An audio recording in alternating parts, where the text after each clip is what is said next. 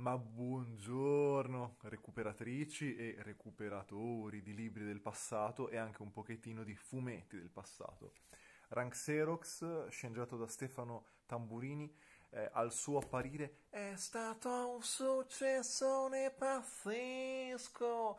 Perché? Perché è riuscito a intercettare certi stimoli, certe pulsioni, certe sensazioni eh, che facevano parte della, della cultura giovanile di quel momento lì. Rank Xerox eh, è un fumetto che nasce a ridosso del movimento del 77, quindi il movimento giovanile, come si diceva, quindi un momento particolare in cui le città di Bologna e di Roma sono collegate politicamente e anche, eh, e anche artisticamente, nel senso che ci sono ponti ideologici tra la musica, le arti visive il fumetto, quindi la zona bolognese anche musicale, Schiantos, Gas de Nevada e poi i fumettisti, Andrea Pazienza che sta a Bologna, Filippo Scozzari e i romani, Stefano Tamburini per l'appunto che è il disegnatore, eh, scusate, è lo sceneggiatore di Lanxerox, eh, Massimo Mattioli e, mm, e, e, sarà, e sarà Andrea Pazienza che presenta a Stefano Tamburini Tanino Liberatore, che è appunto questo grandissimo, questo grandissimo genio del disegno italiano e da questo connubio nascerà, nascerà appunto eh, il primo Rank Xerox pubblicato qui in questo volume. Vi faccio vedere al volo uh, una fotografia, questo, era, questo invece è la, il, rank Xerox, a, il rank Xerox a colori, quindi diciamo la, la, seconda, la, seconda, fase, quella dal 1980 in avanti, e nel retro appunto appariva anche questa, questa fotografia di ecco, Stefano Tamburini, lo sceneggiatore, e Tanino Liberatore, il disegnatore. E, tra l'altro erano giovanissimi, cioè non, fa, non facciamoci ingannare dalla barba, ma avevano 26-27 anni torniamo un attimo qua. Si diceva, eh, già l'incontro tra, eh, tra, Andrea Pazienza e, e, Stefano Tamburini è proprio è una, un incontro d'elezione, nel senso che Andrea Pazienza amava tantissimo il dadaismo. Stefano Tamburini e l'altro disegnatore romano Massimo Mattioli gestivano una rivista autoprodotta che si chiamava Cannibale e questo titolo era un omaggio a una delle poche però importanti riviste che, fece, che fecero veramente parte del, del, movimento dadaista, che era appunto la rivista francese Le Cannibal, che non mi ricordo, tipo la, Le Cannibal uscì in, in sei numeri, mi sembra, negli anni 30, e poi si fermò là, e quindi eh, Tamburini e Massimo Mattioli ricominciano con il, can, con il Cannibale, eh, quindi la strizzatina d'occhio è al dadaismo, e quindi ricominciano dal numero 7. Quando Andrea Pazienza vede questa rivista si entusiasma e quindi appunto scatta questa collaborazione. Parlavo di Andrea Pazienza perché nelle prime storie che vedremo qua fu Stefano Tamburini che eh, si avvalse anche dell'aiuto di Andrea Pazienza co- per, per, il disegno, era per le, per le matite, anzi per, per, il disegno a matita, che poi dis- conseguentemente eh, Tamburini inchiostrava. Eh, vi faccio vedere un paio di immagini al volo per capire di, co- di cosa stiamo parlando. Queste sono proprio le, le, le, prime, le prime, due pagine, le prime due pagine de- dell'inizio della storia. Quindi ehm, c'è da dire che lo stile è uno stile elettricissimo, molto veloce, molto ritmato, molto sarcastico, si potrebbe dire, mm, assolutamente postmoderno. Perché questo? Perché eh, Tamburini riesce a fare un fumetto che al contempo è pop, anzi, mm, popissimo, cioè pop, snob, colto, eh, ha dentro delle citazioni dalla musica, eh, dalla musica, ne, ne parliamo dopo, eh, citazioni visive, oh, raffinatissime, ecco, c'è, c'è, questo mescolone di tutto, quindi è, è, è il postmoderno per eccellenza. Vi faccio vedere un'altra paginetta, si diceva Matite di Andrea Pazienza e, e Tanino Liberatore. In queste poche storie, in, queste, in, queste, poche storie il, poi lo stile si evolve anche, diciamo che passa da, da, da alcune prime pagine con molto retino e... Mm, molto, reti, molto, retino e tantissimi dettagli a una, so, una, sorta di, in certi punti già, ehm, asciuttezza dell'immagine, ecco un pochettino più avanti, una delle storie dove, abbiamo ancora, si vede chiarissimo l'influenza di, di Andrea Pazienza alle matite, qua. Ecco, si diceva, è postmoderno, si diceva che è il personaggio, allora chi è? Chi era Xerox? Eh, ve lo faccio vedere anche tratto qui da, dicevo, eh, è qua che è, su questa rivista Frigidaire, sempre progettata da Stefano Tamburini, rivista che esce nel 1980, eh, mitica, ecco, mh, mm, quando verrà disegnato a colori, eh, ecco, Rank Xerox diventerà così, disegnato da Tanino Liberatore. E, e vi dicevo, ecco, chi era Xerox? Ve lo faccio vedere un'altra volta qua a colori. Eh, chi era Xerox? Eh, Rank Xerox nasce alle, eh, alle, sue origini come un... Um, viene chiamato appunto il coatto sintetico perché si svolge a Roma la storia. Quindi il coatto sintetico è la creazione di uno tra virgolette, studelinquente, cioè così viene chiamato, quindi una sintesi di studente e delinquente, che avrebbe partecipato a una mitica eh, occupazione del 1986 che, strizzando l'occhio a Orwell, è un capovolgimento di data, quindi non più 68 ma 86. Quindi questo studelinquente, dopo, eh, dopo aver partecipato a questa, questa occupazione, eh, ha, ha, preso una macchina eh, fotocopiatrice e l'ha trasformata in un, eh, in, in, un androide, nel senso che ha la forma umana, ma, ma al, al, suo interno è una macchina, eh, è un robot. Ecco. E, e, lo fa perché lui ha bisogno di stare scollegato dalla società, di rimanere nascosto, stando in questa situazione così, eh, appunto, di, di, di in, questa situazio- in questa situazione di eh, in cui non può mostrarsi, in cui non può, non può avere eh, contatti con, le, con, con, il mondo esterno. E quindi, e quindi Rank Xerox è, come dire, la sua pedina che immette nella società e che si muove per trovare, per trovare le cose di cui lui ha bisogno, diciamo. Ecco, questo è proprio lo spunto narrativo che troviamo qui all'inizio. Tra l'altro, eh, lo studio delinquente, quindi il suo creatore, lo, scienziato, lo, lo scienziatuzzo, ha, ha, poi ironicamente le stesse fattezze di, di, di Stefano Tamburini e, e, così. Coprotagonista della storia è questa, questa ragazzina eh, che ha questo nome strano, che è Lubna, e Lubna viene disegnata eh, per la prima volta da Andrea Pazienza e, e, che inventa questa caratterizzazione che è questa eh, questa coda di cavallo all'indietro molto alta. Vedo se riesco a farvela vedere in un'immagine. No, non, non, non si vede. Uh, cioè, nel senso c'è, ma è un po' troppo in mezzo ad altri personaggi. Intanto, insomma, e praticamente Lubna, ecco, forse si trova qua. E vabbè, eccola qua. Eccola qua. Vedete? coda di cavallo molto alta e qui proprio stiamo essendo ancora proprio alle origini, e... però questa pettinatura rimane.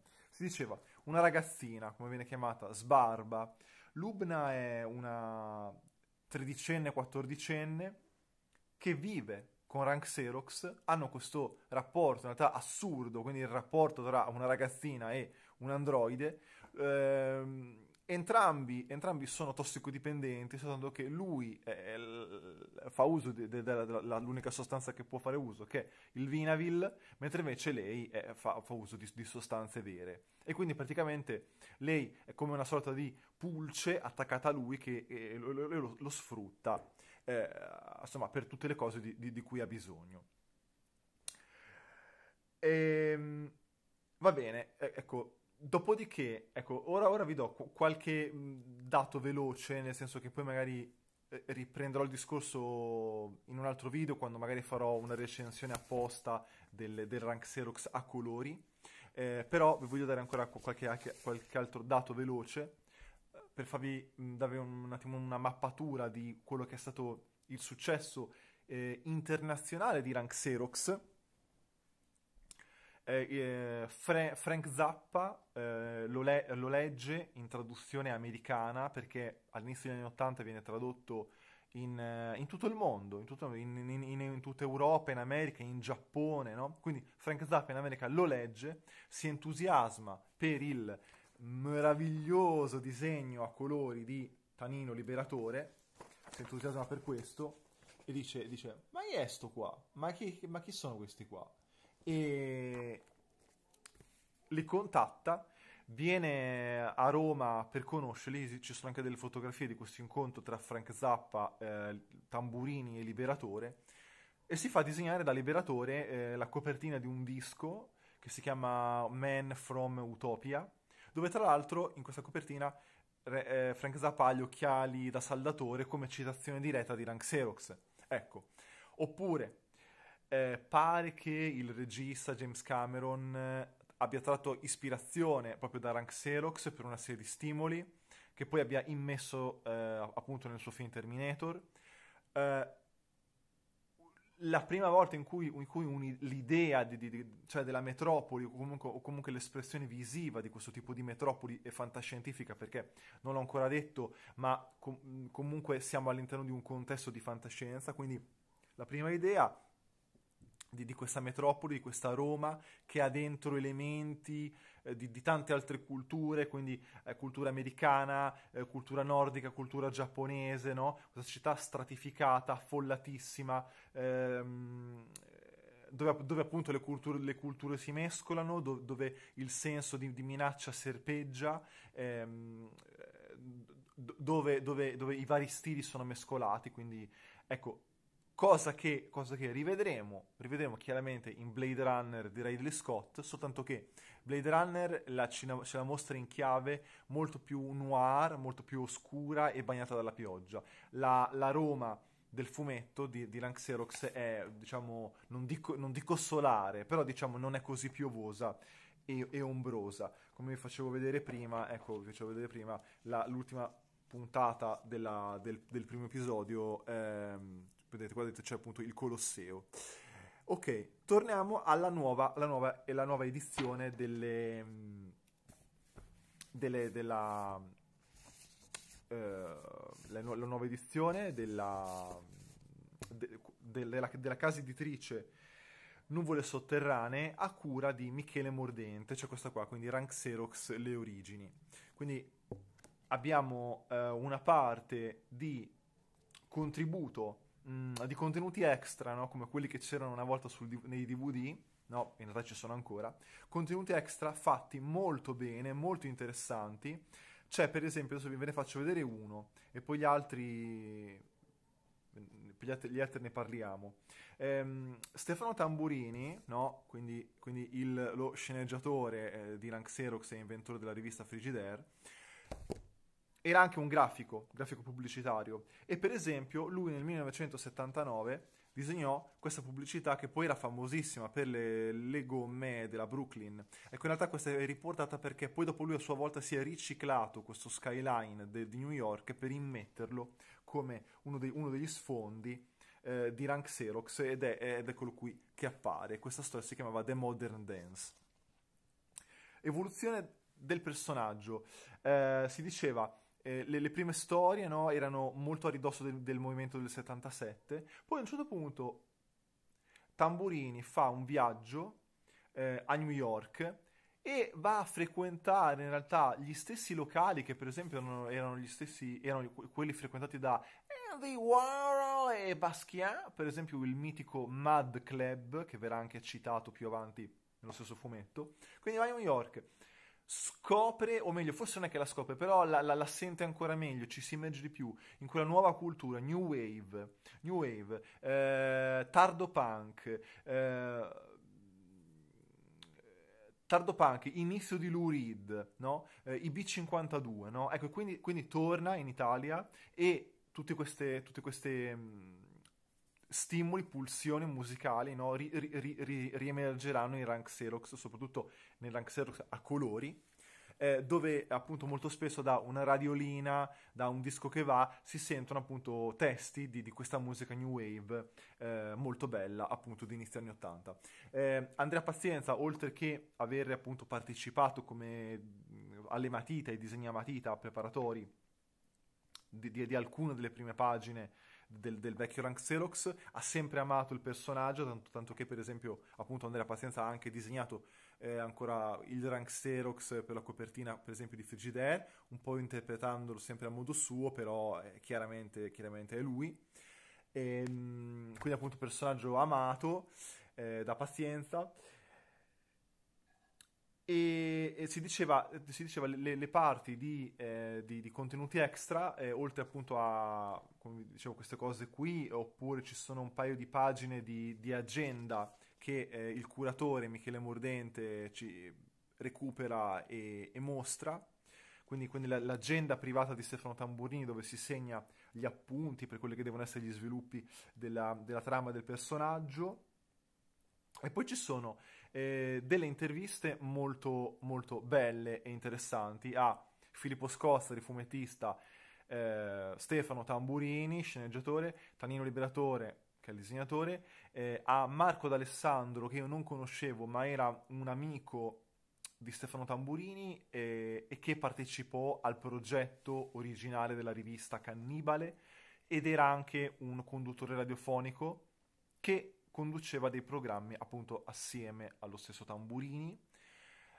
Uh, e soprattutto uh, chicchina sulla creme della creme c'è una ah eccolo qua un altro, un, altro, un altro, fotogramma sempre di Stefano Tamburini che venne intervistato alla Rai ed è un video che andava, era anche su YouTube e ora mi pare che sia stato nascosto, non si sa perché, non, non c'è più. Comunque la trascrizione di questa intervista è riportata qua integralmente. E ehm, ecco, dicevo, chicchina sulla creme, intervista a la vera Lubna, no? Lubna è la, la ragazzina, la fidanzata, tra virgolette, di Rank Xerox, in realtà è la sua sfruttatrice. La vera Lubna, nel senso che questo nome così strano, che io pensavo fosse eh, inventato da, appunto a livello, a livello di sceneggiatura, in realtà era una persona realmente esistente, cioè in realtà tuttora, tuttora vivente. Si chiama veramente Lubna, è una che eh, gestisce un, um, un, un, albergo a Roma e in questa intervista appunto eh, lei dice appunto, racconta un po' così sinteticamente il suo, il suo, incontro molto semplice con Tamburini, Tamburini che prima le, le chiede posso usare il tuo nome poi dopo alla fine ne è stata presa anche la fisionomia, quindi, quindi un apparato eh, di contributi extra, extra ass- assolutamente eh, gustoso e molto molto molto interessante. Ehm, ecco niente, vi faccio, vi faccio vedere l'ultima pagina, sempre da di qua, così. Questa è una delle ultime pagine, si arriva ad una sintesi formale molto molto interessante, si vede che visivamente c'è dentro la new, la new, wave, c'è dentro tutto un fumetto nuovo di giovani. Ecco, la cosa bella di questo, di questo fumetto, anche in Rank Serum in bianco e nero parliamo di delle storie talmente snelle, ironiche, sarcastiche, veloci, una fantascienza pop, anche... Ehm, anche sgangherata, no? ma, ma, soprattutto divertente. E, e quindi sono, sono, fumetti fatti eh, quasi 50 anni fa, eh, che però, cioè, accidenti, sembrano fatti domani, cioè sono godibilissimi. Mi sembra che sia tutto, vi lascio in descrizione il link al sito, ehm, il link al sito eh, ve lo lascio in descrizione perché questo volume qui si trova tramite appunto, è un'autoproduzione, però, eh, Mich- però Michele Mordente sta curando una, questa serie di, di volumi dedicati a Stefano Tamburini, una serie che si chiama Tutto Tamburo, dove ha pubblicato per la prima volta organicamente tutta una serie di materiali di tamburini che non erano, non erano mai stati eh, pubblicati prima. Il mio ringraziamento eh, speciale appunto a, a, a, Michele Mordente perché adesso per concludere voglio dirvi, cari ciccetti, che questo video è anche una, una, un upgrade per, eh, per, per, il canale perché per la prima volta questo, questo, volume mi è stato regalato molto gentilmente da Michele Mordente eh, apposta, apposta, per una recensione. Eh, io gliel'ho chiesto in un commento su Facebook, eh, io e Michele ci siamo conosciuti commentando sul gruppo pubblico su Facebook dedicato ad Andrea Pazienza E quindi abbiamo, ci siamo conosciuti così e un giorno ho visto che annunciava questo, io le ho chiesto, me lo mandi, per, lo recensisco per il canale e lui molto gentilmente mi ha fatto questo regalo. Il libro è bellissimo, stampato su carta grossa e... Ecco, carta grossa, chiudiamo anche con quest'ultima immagine, qui c'è un, un tannino liberatore eh, disegna, caric- caricaturizzato da Andrea Pazienza, no, liberatore lui con la barba, eccolo qua, ecco, ecco che riesco a fare il mio caso, insomma, liberatore lui con la barba, caricaturizzato da, da Andrea Pazienza e che dimostra sempre appunto questo, questo stretto rapporto tra tutti, tra tutti, i, collaboratori e i disegnatori di, di, questo, di questo fantastico fumetto. Presto parleremo ancora di Stefano Tamburini per il Rank Xerox a colori, il successone che divampa nel mondo e la ma- magica rivista Frigidaire che ha segnato un'epoca. Io vi ringrazio, eh, cari ciccetti, e anche se la luce delle lampadine è ancora mm, assolutamente postmoderna, eh, vi auguro una bella buonanotte ciccetti. A presto.